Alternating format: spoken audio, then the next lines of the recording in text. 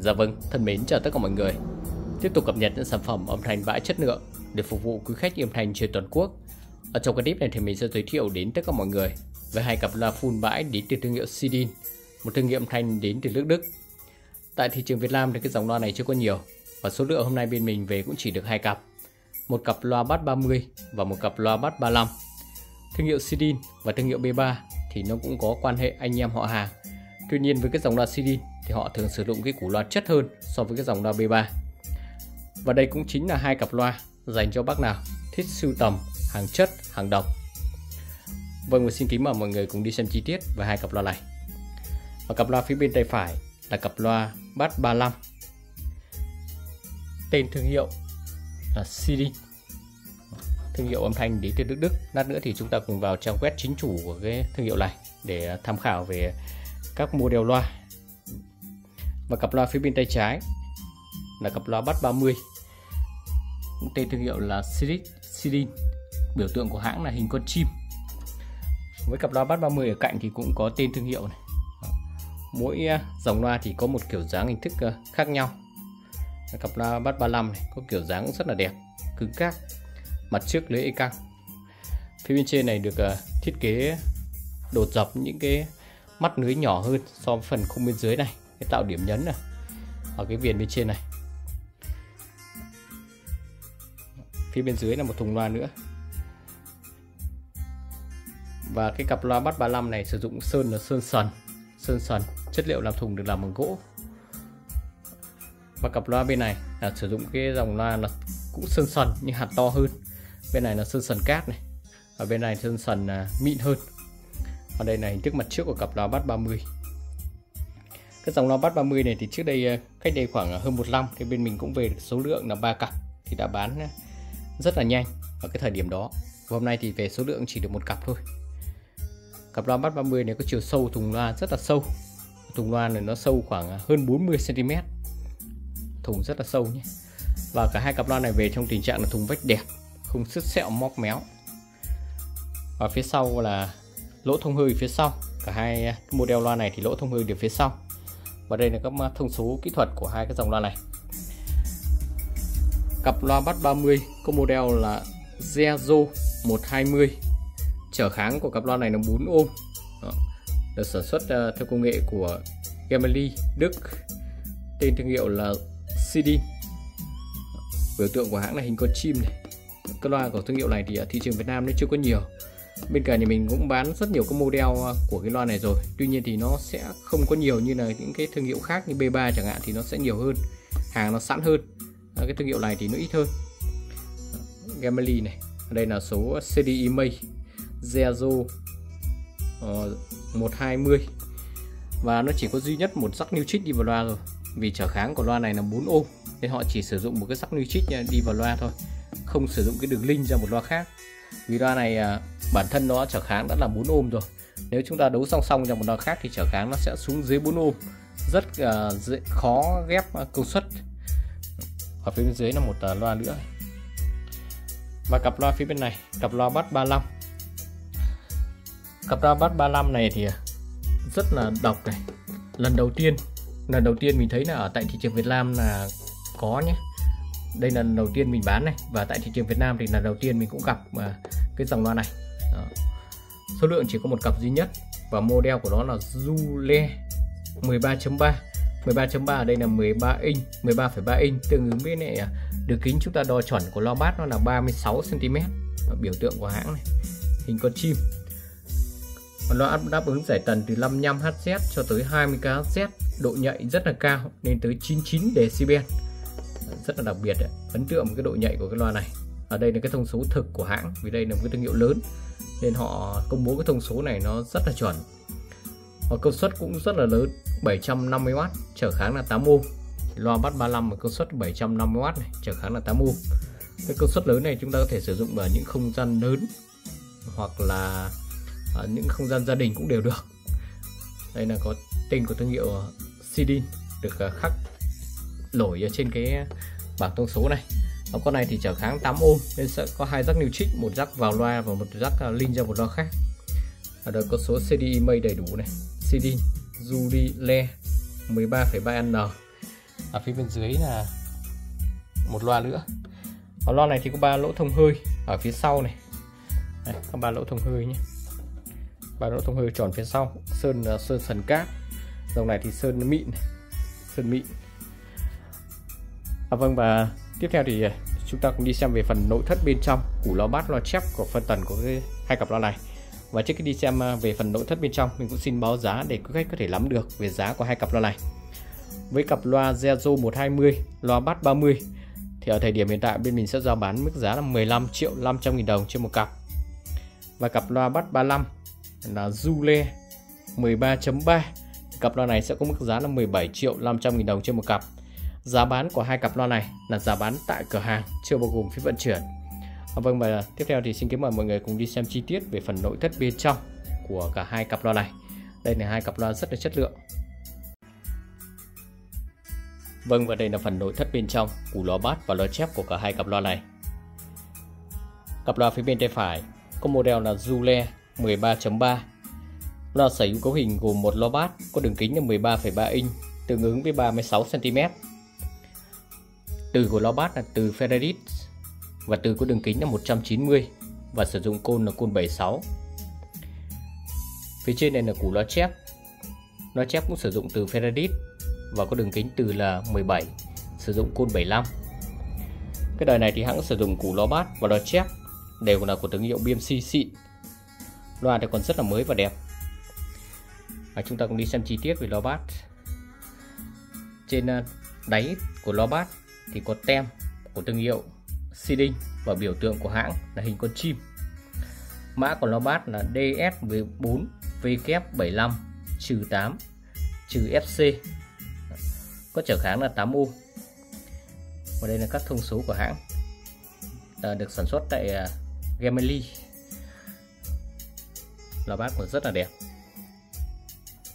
Mạch xương này thì uh, chắc chắn là xương của BMC rồi chúng ta trông nó rất là quen thuộc với các dòng loa của BMC xịn và đây là keo.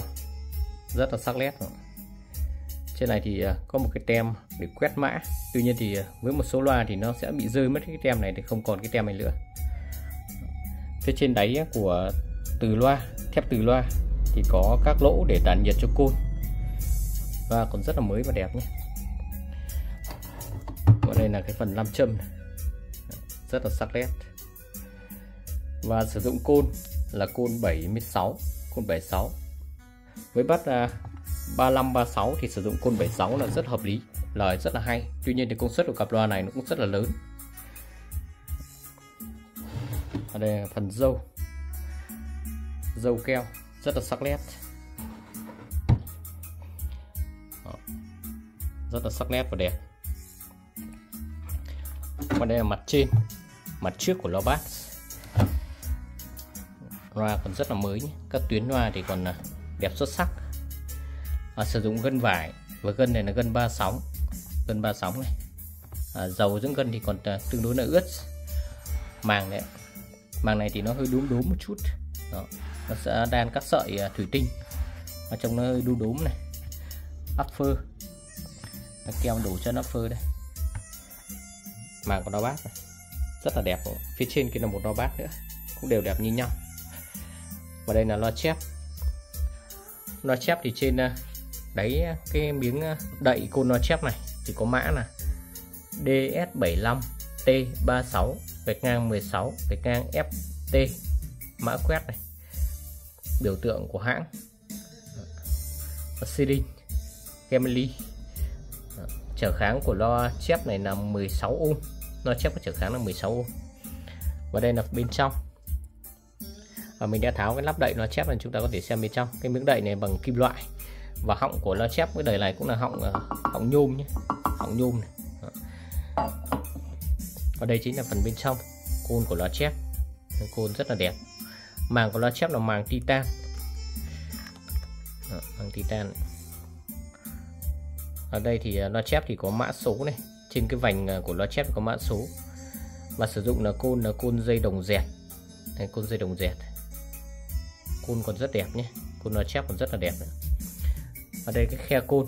Khe côn thì ở giữa thì có một cái viền đầu. Dòng chép xịn của BMC với cái mã model đời cao. Họng của loa chép là họng à, gang, mọi người nhé. Họng nhôm. Họng này họng nhôm họng kim loại. Ở phía bên trong tùng là phân tần và bông tiêu âm. Ở cái đời này thì à, hãng có sử dụng hai loại bông tiêu âm trong một thùng loa một loại là bông màu đen này, dạng một lông chuột đây ở hai bên hai bên thành vách, ở phía dưới này. Phía sau này thì sử dụng bông thủy tinh vừa được bọc vào trong một cái lớp vải này. Bông thủy tinh thủy tinh có hai loại bông nhé. Và dây đi ra bát thì đều được bọc một cái lớp bông này và lấy nó chép như vậy. Và sử dụng hai ờ, vỉ phân tần. Vì bên này sử dụng cho lo bát này. Bao gồm có một cuộn cảm, ba con trở và những con tụ này là của Nhật này. Tụ này của Nhật, rất là xịn sò này phía này là dành cho Nobat và phía bên này là dành cho loa chép. Dây đi cho loa chép này. Loa chép thì có một cuộn cảm lớn này ba con trở sứ này một cuộn cảm nhỏ này hai con tụ một con tụ à, uh, LC uh, C à, cap này và một con tụ nhỏ đây. Phía này thì có một con tụ đó là hai vị phân tần. Ở phía khoang trên này ở khoang trên này thì có ba lỗ thông hơi và đặc kín bông tiêu âm ở phía trên này. Đó ở đây là cái cặp loa Zule 13.3 bát này chúng ta đo đường kính từ đây từ mé bên này sang bên này là nó 36 cm nó 36 cm nó nhỏ hơn so một chút với này cái dòng loa bát 40 ở phía bên trên này nó bát nữa này. Còn rất đẹp nhé. Đẹp và xuất sắc luôn đấy. Một số tiếc là số lượng nó không có nhiều chỉ có một cặp duy nhất thôi. Đó, keo cổ côn này keo của côn nhé keo chân nhện. Tất cả còn rất đẹp. Và đây là mặt trước của màn nó bát màn còn nguyên bụi này. cái này thì chỉ vệ sinh lau đi là sạch thôi. À, phía trên này là nó chép. Tem mát đầy đủ nhé. rất là chất đấy. Và tiếp theo thì đây là cái cặp uh, uh, cặp này là cặp uh, cặp loa bắt 30 có model là Zezo 120 loa có đường kính là 12 inch tương với 30 cm hay chúng ta thường gọi là loa bát 30 và cũng sử dụng từ là từ ferradit và từ này có đường kính là 17 và cũng sử dụng côn. À, cái đời này sử dụng côn là côn 65 65 68 thôi. Không sử dụng côn to nhé lời nó rất là hay. Phần à, thép từ này, thép kẹp từ kẹp từ. Có tem này trên này thì có tem. Mã của cái đời lo bát này. Cái đời lo bát này thì trở kháng của nó là 4 ohm, hàng chuẩn của nó trở kháng là 4 ohm. Và có mã là DS12 W65 gạch ngang 4 gạch ngang FC Đó. biểu tượng của hãng là hình con chim Sidic Gemely thương hiệu của Đức. Trở kháng của nó bát này là 4 ohm. Với loa trở kháng 4 ohm thì chất âm của nó rất là hay. Đó. tuy nhiên thì chúng ta phối ghép đẩy nó phải hợp thì nó sẽ khai thác được hết chất của cái dòng loa 4 ohm này. Nếu hợp đẩy thì nó rất là hay mọi người nhé. Độ nhạy của cái dòng loa 4 ohm này thì thường nó cao hơn một chút so với dòng loa 8 ohm nên lời nó rất là hay. Và đây là keo này. Keo giữa cái phần à, từ và cái à, sắt kẹp từ này. Này, khung xương này. Khung xương cái đời này thì hãng sử dụng uh, củ đo mát là chính hãng của của thương hiệu uh, Sirich. Đây là màng. Màng thì à, mặt trong. Là màu à, mắm tôm. Và sử dụng à, côn. Là côn 65 côn 65 thôi nhé. Không sử dụng côn to. Với những cái dòng loa xịn chất lượng, thì họ thường sử dụng là cái côn nó trung bình thôi. Nên nó sẽ đạt được cái chất âm hay. Và công suất của nó thì vẫn đạt ở công suất lớn. Hai cọc cái lối đi vào trong côn loa. Cọc còn vàng óng này. Ờ. Đây, phía trong trong là dâu. Phía dâu. Tất cả là còn nguyên zin. Cam kết là hai cặp loa này thì tất cả còn nguyên zin. Ở đây là mặt trước của màng nó bass cái đời này thì à, hãng sử dụng gân cũng là gân vải và gân ba sóng tẩm dầu. Và cái phần à, phần phần à, gân này nó tròm ra rất nhiều ờ, trên cái phần màng này. Nó tròm ra rất nhiều này màng là màng à, màu móng tôm. Màu móng tôm này. À, giống với một số đời của loa JB đấy. Có cái màu này. Upper đây upper lồi. Loa còn rất đẹp nhé. Ở phía trên này là củ loa chép. Loa chép này thì à, chúng ta nhìn nó rất là quen thuộc. Nó giống với cái dao chép của cái dòng B3 hay sử dụng cái dòng loa chép này. Ở trên loa chép thì có tem của thương hiệu à, Siric mã là DS44 T25 gạch ngang 8 FP và mình đã tháo cái nắp này ra rồi. Chúng ta có thể xem về trong của côn của loa chép. Đây cái nắp này. Phía bên trong này nắp này bằng kim loại. Và phía trong này thì có một lớp bông. Và đây chính là phần à, bên trong của côn loa. Đấy, côn màng này rất là đẹp. Và có mã số này. Mã số nhé.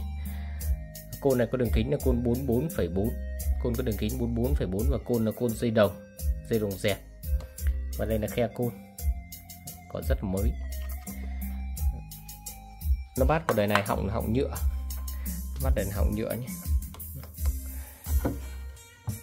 Ở đây củ lò bát tiếp theo này. À xin lỗi nó chép là họng nhựa. Và đây là củ lò bát tiếp theo này. Tất cả thì còn khá là mới và đẹp. Bóng mướt luôn. Mặt trước của màng lò bát. Đó, mặt trước của màng lò bát đây là nó chép. Chép này. Nó chép này đời này thì có số này. Số bắn à, laser này. Tùy từng đời nhé, có đời có đời không. Còn đây là mặt trước của họng nó chép. Họng trước rất là bóng này. Này, lau chùi vệ sinh nhìn là sạch nhé. Trước của lò bát trước của lò bát và mặt trước của lò chép. Và phía trong này là phân tần phía bên trong này có bông tương. Cái đời này thì sử dụng loại bông là bông màu đen này. Bông này bông màu đen nhé. Nó tùy từng đời loa đấy, không phải cái đời nào cũng sử dụng cái dòng bông đông lông chuột đâu. Đây là sử dụng bông là bông màu đen. Và phân tần thì cũng có hai vỉ. Dây thì đều được bọc lớp bông. Phân tần có hai vỉ này, một vỉ cho nó bát. Phân tần cũng rất là to. Một vỉ cho nó bát thì bao gồm có một cuộn cảm một con tụ, hai con trở hai con trở sứ. Và phân tần cho nó chép này rất là chất với cái linh kiện như là cuộn cảm này con tụ này trở sứ này. Đó. hai vị phân tần. Và phân tần của những cái thương hiệu này thì toàn sử dụng linh kiện xịn thôi nên nó rất là chất và nó cho ra chất âm rất là hay kết hợp với củ loa xịn nữa nên nó cho ra chất âm rất là hay. Đây là phần à, cả hai cặp loa nội thất của cả hai cặp. Và vâng và chúng ta cùng đi tìm hiểu về thương hiệu này qua trang web chính chủ của hãng quý khách có thể sử dụng điện thoại hoặc máy tính và vào Google. Gõ từ khóa là Seeding. Azure 13.3 chúng ta có thể gõ luôn cái đời loa Azure 13.3 ở trong này thì à, ở đây là cái đời loa này. Zule 13.3 ở dưới này là cái link. Trang web à, chính chủ của hãng. Để chúng ta cùng vào à, trang web chính chủ của hãng. Ở trong trang web chính chủ của hãng này thì ở cái biểu tượng hình đầu tiên thì đã có cái model hình của cái loa là Zule. Ở đây có model là bát uh, 27 này bát 35 này. Và con này chắc là bát uh, à, trên 40 hoặc là bát 40 gì đó. À, chúng ta cùng chọn vào dịch sang tiếng Việt. À, tìm hiểu uh, để tìm hiểu về thương hiệu này. Ở đây là tìm hiểu về thương hiệu này. Ở đây là một thương hiệu âm thanh đến từ Đức Đức thông tin ngành nhé. Đó. chúng ta chọn sang dịch sang tiếng Việt đấy, có rất nhiều các thông tin ở đây. Ở trong này thì quý khách có thể vào ờ, và tìm hiểu thêm. Đây là seeding này. Thừa kế sự ờ, chặt chẽ, vững chắc trong thiết kế của người Đức. Có rất nhiều các thông tin của hãng ở trong này. Và chúng ta cùng đi vào phần ờ, sản phẩm để tìm hiểu về các model loa. Trong này cũng có rất nhiều các model loa này có rất đầy rất nhiều các đầy loa khác nhau nhé. Và để xem về loa thì chúng ta sẽ gõ vào cái phần à, có chữ loa này. Đó. Ở phần chữ loa thì ở đây có các à, model loa này như là Zero series. Đó, Zero này. Ở đây có cái đài loa Zero bắt 25 và bắt 30 cặp loa phía bên cạnh nhà mình là bắt 30 để hình thức mặt trước của loa. Còn à, cặp loa bắt 35 cặp loa bắt bắt bắt 35 thì chúng ta cùng vào cái phần à, ở phía bên này. Cặp loa bắt 35 thì chúng ta cùng vào cái phần là có cái chữ là loạt quy tắc này. Đó, thì trong này thì sẽ ra cái cặp loa bắt 35 Đấy. mọi người có thể vào và tham khảo thêm.